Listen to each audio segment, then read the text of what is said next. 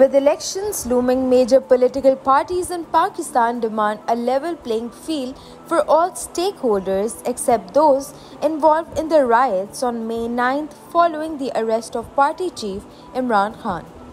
JUIF leader Maulana Fazlur Rehman, without naming Imran Khan, emphasized the need for fair competition and accountability for those facing the law. Meanwhile, PPP leader Bilawal Bhutto Zardari expressed willingness for talks with PTI before elections but stressed the importance of holding those responsible for the May 9th violence accountable. PMLN gearing up for Nawaz Sharif's potential return mobilizes its supporters.